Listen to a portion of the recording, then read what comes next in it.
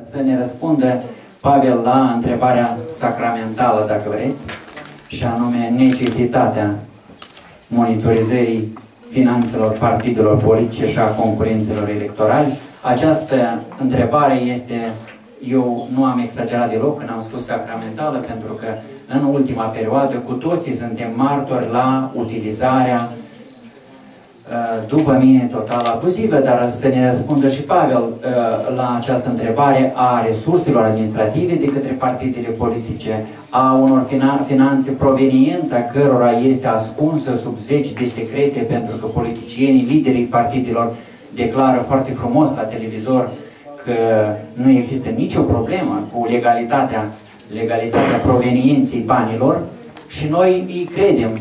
Evident, sunt sigur noi ca societate civilă și, uh, nu în ultimul rând, și Comisia Electorală Centrală poate contribui la asigurarea transparenței financiare a partidelor politice. Cu siguranță, da. Uh, mai mult, o să insist pe ideea că, uh, la momentul de fapt, Comisia Electorală Centrală are și obligația asta stabilită prin lege. Dar cum să facem acest lucru? Insist pe ideea că fiecare dintre noi, fiecare individ în parte, trebuie să înceapă la sine. Atunci când noi, fiecare în parte, vom uh, încerca să fim mai atenți la uh, cheltuirea banului public, uh, la cheltuirea transparentă a banului public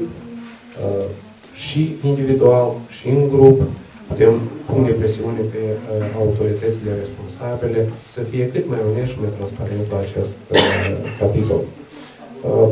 ziceam și zic de fiecare dată că uh, ca să mă asigur că partidele politice, care de fapt noi le încredințăm gestionarea banilor publici, sunt uh, prin reprezentanții lor, noi am votat, ei au delegat pe cineva care să gestioneze banul public, deci, până la urmă, tot partidele politice gestionează banii publici. Și pentru ca să mă asigur eu că partidele politice sunt uh, corecte la acest capitol, eu aș vrea să văd că ei au pe intern uh, anumite reguli foarte clare și sunt transparente la capitolul gestionarea banilor proprii. Din sesiunea precedentă uh, am uh, auzit cu toții Uh, cei care au fost prezenți în sală, că partidele politice și-au înaintat anumite reproșuri uh, cu privire la uh, calcularea cotizațiilor, evidența cotizațiilor, trebuie cineva să le plătească, nu trebuie cineva să le plătească. Deci, după cum vedem, cu siguranță, la acest capitol avem foarte multe de făcut, pentru că partidele politice, pe intern, nu sunt transparente. Deci, cu siguranță, avem nevoie de reglementări mai stricte în cazul ăsta, din punctul meu de vedere, care să reglementeze și acest subiect. Uh, cum putem să facem? Eu uh, consider că noi trebuie să facem monitorizarea și societatea civilă, și organele competente, trebuie să facem monitorizarea continuă a oricărui proces, inclusiv acele procese care sunt problematice. Și am uh, ajuns la concluzia și sper eu și fiecare dintre voi a ajuns la concluzie, în special și după prima sesiune, după primul panel, în care uh, reprezentanții partidelor politice au confirmat chestia asta, că finanțarea partidelor politice, uh, coruperea alegătorilor, corupția în general, sunt niște probleme esențiale pentru Republica Moldova, din care cauză noi trebuie să fim mult mai atenți pe acest uh, subiect și pe acest aspect. Uh, iarăși, cine poate să facă monitorizarea? Păi, din punctul meu de vedere, sunt uh, trei tipuri da, de, de, de monitorizare care poate fi efectuată.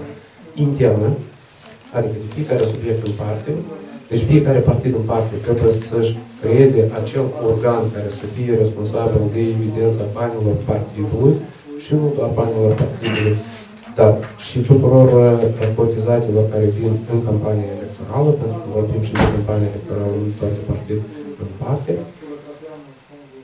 Să zicem, a doua categorie este uh, monitorizarea legală,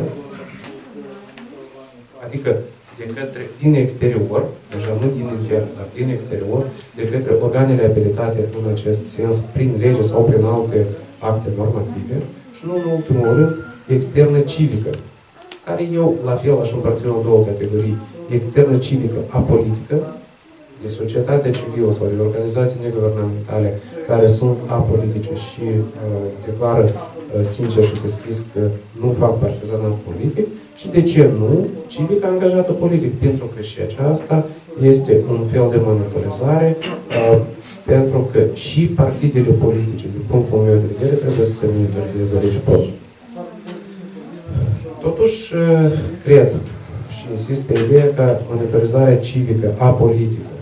în cazul care este obiectivă și imparțială, poate aduce mai